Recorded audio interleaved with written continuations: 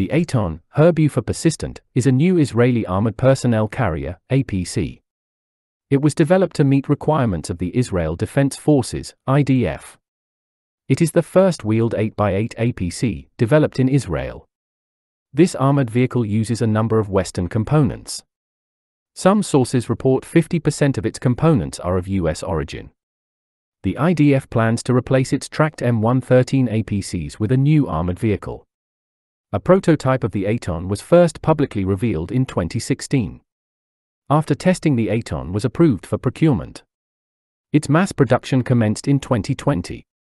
This armored vehicle will become operational with the IDF in 2021. It will become the first wheeler armored personnel carrier operated by Israel. The Eitan has a typical layout for a modern APC. It weighs around 30 to 35 t and is well protected. Actually, it could be one of the most protected wheeled APCs in the world. Vehicle has a V-shaped hull for improved protection against mines and improvised explosive devices. So far there were no official data regarding its ballistic and mine protection. Most likely that front arc withstands hits from 25 to 30 mm cannons and all-round protection is against 12.7 mm or 14.5 mm armor-piercing rounds.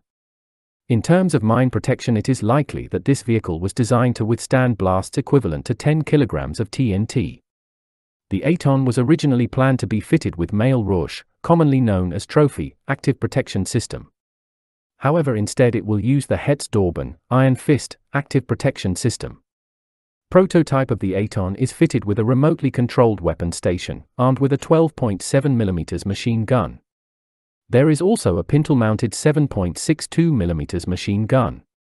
Other weapons, such as 30mm or 40mm automatic cannons, will be also available on production version of the Eitan.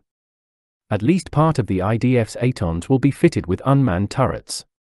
The Eitan has more internal space than the M113. It is operated by a crew of three and can carry nine soldiers. Troops enter the vehicle and dismount via a rear power-operated ramp with integral door.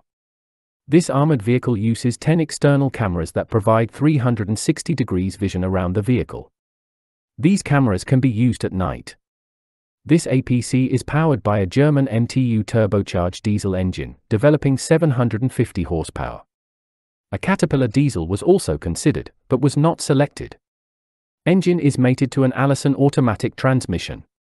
Vehicle is fitted with a central tire inflation system, which improves mobility over difficult terrain, such as sand. Tires are fitted with run flat system. For a limited range of up to 16 kilometers the Eitan can travel on deflated tires. Though when the tires are flat maximum speed is limited to 50 kilometers per hour. This vehicle is not amphibious. Price of the mass-produced Eitan is around $3 million.